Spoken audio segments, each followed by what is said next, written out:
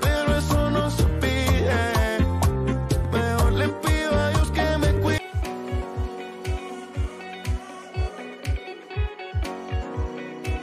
Ando manejando.